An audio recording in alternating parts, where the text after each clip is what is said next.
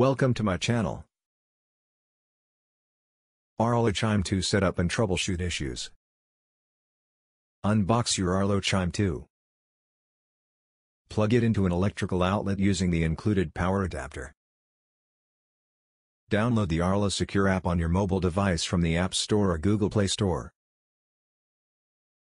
If you already have an Arlo account, sign in, otherwise, create a new account. In the Arlo Secure app, tap on the plus icon in the Devices section to add a new device. Select the Doorbell and Chimes option. Select Chimes from the list of available devices, and follow the on-screen instructions to connect the Chime 2 to your Arlo account. Ensure that your Arlo Video Doorbell and Arlo Chime 2 are on the same Wi-Fi network for seamless communication.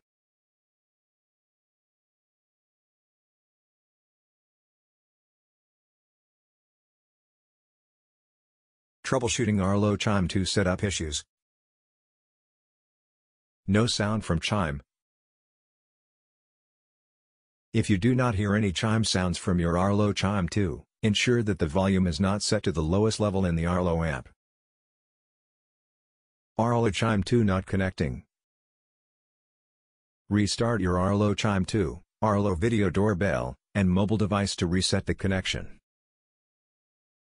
Update your Arlo app to the latest version to ensure compatibility with Arlo Chime 2. Make sure that your Arlo Chime 2 and Arlo Video Doorbell are connected to the same Wi-Fi network. Chime sounds too low or too loud. If the volume of your Arlo Chime 2 is not satisfactory, you can adjust it in the Arlo app. If the volume of your Arlo Chime 2 is not satisfactory, you can adjust it in the Arlo app. Firmware update Ensure that your Arlo Chime 2 has the latest firmware installed. Check for updates in the Arlo app and follow the instructions to update your Chime 2 if needed. Resetting Arlo Chime 2 If you are still facing issues like Arlo Chime 2 not connecting, you can try resetting it to factory settings. To do this, press and hold the reset button on the back of the Chime 2 for about 10 seconds until the LED light on the front blinks amber.